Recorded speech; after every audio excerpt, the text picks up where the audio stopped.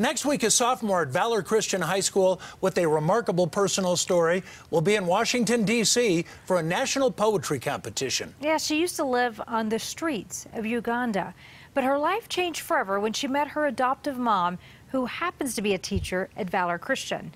Tori Mason joins us now, and Tori, you spoke with them about their journey. It's really incredible, guys. Her mother used to be a documentarian. In 2004, she traveled to Uganda, hoping to come back with an award winning story. But instead, she came back with an award winning daughter. Jesca Gilbert is quiet in the classroom. Uh, English is my second language. I can't Yeah. tell.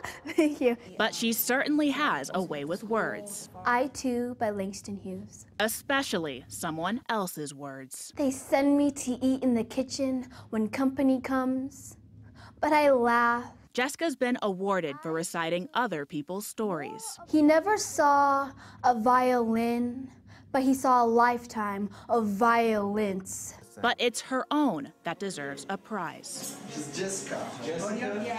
Uh, When I was younger, um, I was begging on the street with my mom, my birth mom. She died in Uganda when Jesca was five. She had no idea her mother to be was so close by. I think really it was supernatural God telling me, now here's your new life path. After the adoption, they came to America for a better education, but Jesca's past came with her. Well, She struggles with some learning disabilities, and it all is from trauma from being a street kid. She thought poetry would improve her short term memory. Swilled like a sour stone. And as her memory got better, so did her while poems. With me, and my mom was hitting me, saying, What just happened? And I said, I think she won. I won that, and I was really, I was in shock. My face was just like, Now they're hoping for a national win, inspired by the country where it all began. it just shows how much like boundaries I've been able to like overcome, and I just represent also Uganda really well too. Like hard work pays off, and I can really see that right now.